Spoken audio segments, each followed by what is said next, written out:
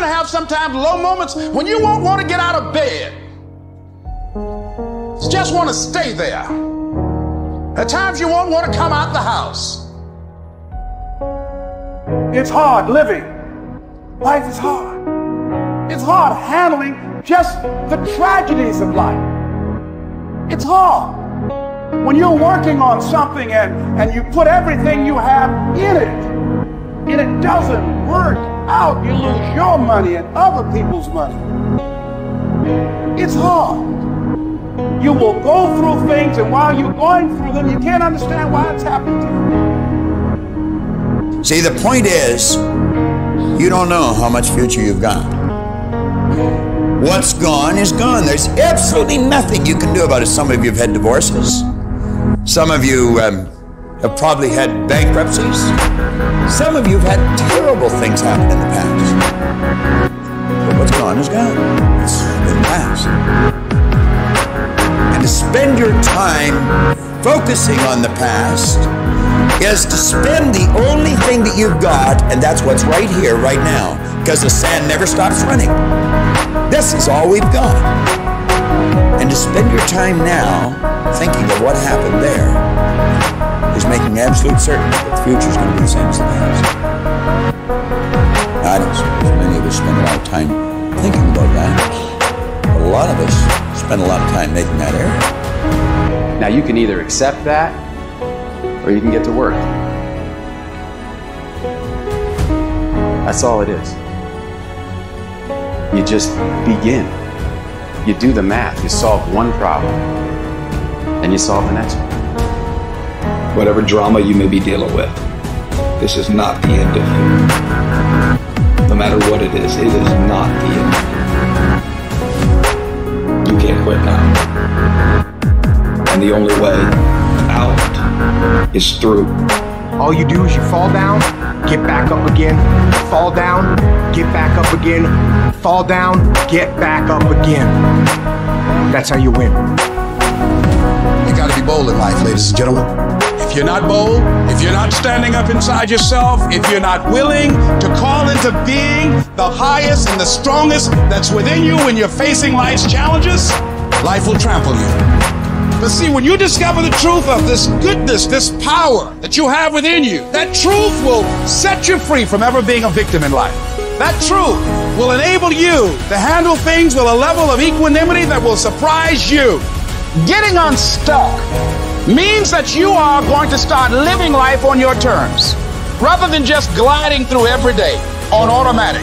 That you have a special power within that you know that things are going to get better for you. You know that you can handle this. And because you want some different kind of results in your life, you've got to decide that I'm going to go all out. Now listen to me. I don't care what you're going through. If you're not dead, he ain't through with you yet. As long as you waking up, you still in the game. As long as you alive, you can still make it happen. As long as there's breath in your nostrils, boo, you still in the game. You still can win. Now get your butt up. Keep crying? Why me, God? Why did I get MS? Why did I get cancer? Why did my mama die? Why did I get fired? Listen, you got put through that because what that does, that tension produces greatness. Stop running from it and run to it. Lions don't cry. Lions don't give up. Lions don't quit. Lions hunt. That's what we do for a living. We turn tragedy into triumph.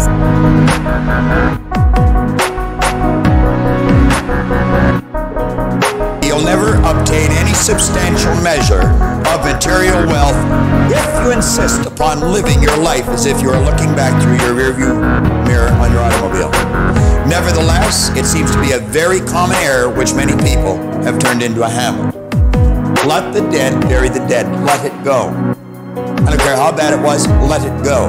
Five years from now, ten years from now, when you look back in retrospect at that terrible thing that's happened, you're going to find it was probably one of the best things that ever happened to you. Advancement of all kinds is preceded by a crisis. The greater the crisis, the greater the opportunity for advancement. Or you could put it another way. You could say, out of all confusion comes order, a higher degree of order than that which existed prior to the confusion. Because you see, the confusion was a learning state. Remember, I was pointing out that business is fun. It really is. I see business as a game. It's a game we're playing. We play to win. And when we're winning, we're having fun. And when we're losing, we're learning. Let's treat both of the experiences exactly the same. They're learning experiences. Now we say, remember the old adage which says, let the dead bury the dead. Stop looking back on your life and worrying about the things which have already occurred and which you can no longer alter. It's like trying to change the time you got out of bed this morning. You're never going to be able to do it. That stands for eternity. You cannot go back and change it. So you cannot let it go. Pursuing that kind of mental activity will never lead to anything worthwhile, any worthwhile accomplishment in your life.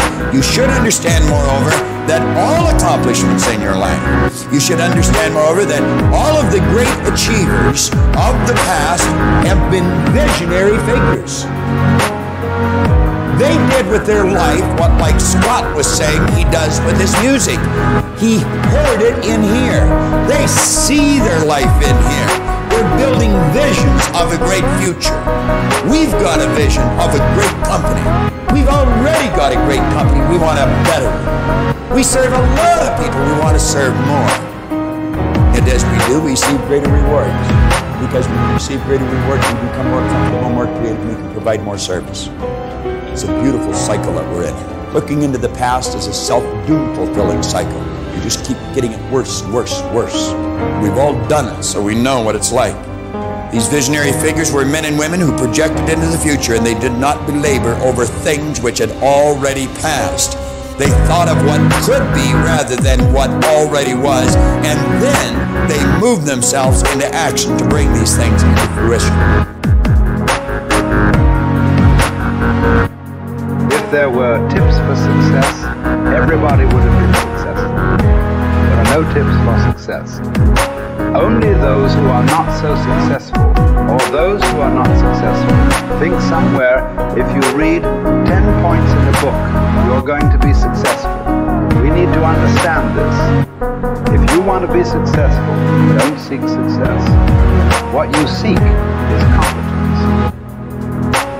If you enable yourself and if you do something well, other people will say you're a success. If you think, I'm a success, it's foolish, isn't it? You're doing something and you're doing it well. Other people in the town or in the country or in the world, people will say, Oh, he is doing something really successful. They're looking up to you. That's fine. You look up to yourself. That's madness, okay?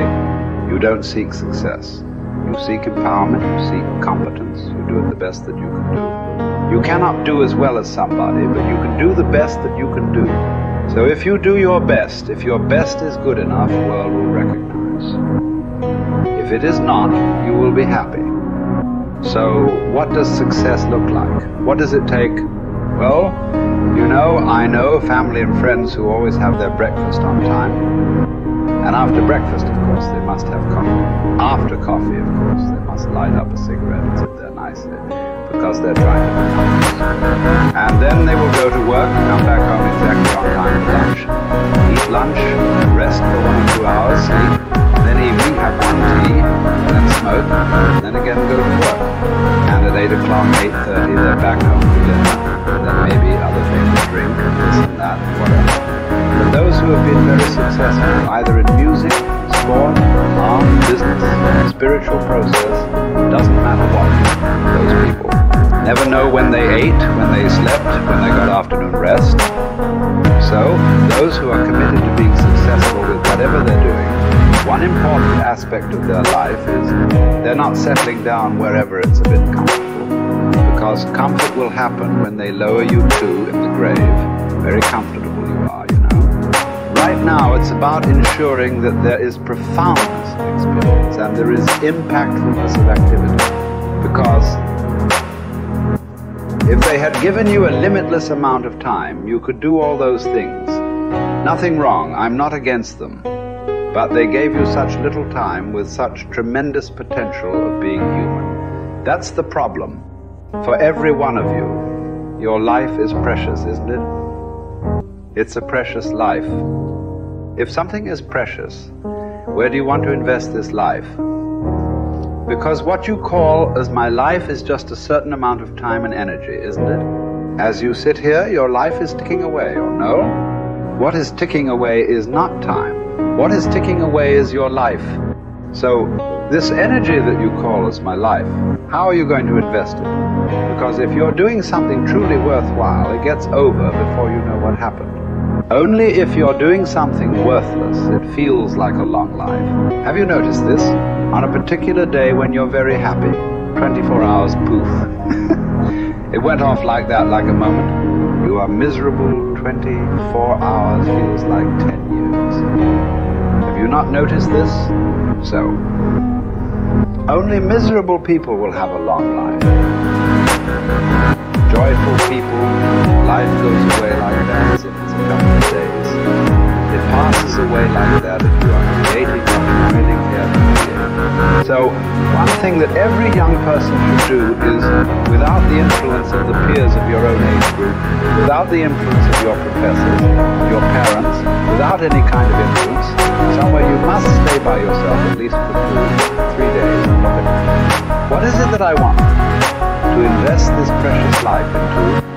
What is it that will be worthwhile today and worthwhile after 50 years for me to invest myself into? To invest your life into that, whatever it is, however small, big, it doesn't matter. If you see that this is something truly worthwhile and you invest your life in that, this will be a life of fulfillment.